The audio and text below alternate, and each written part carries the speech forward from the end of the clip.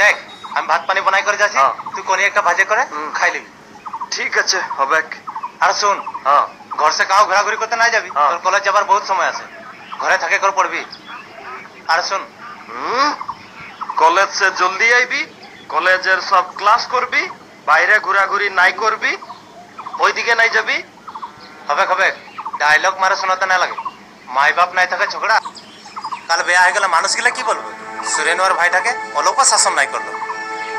আর শুন তুই ভালো সে লেখাপড়া করলে এনে রে বাবু হবে আর ওই দিন মোর কষ্টটা সার্থক হবে।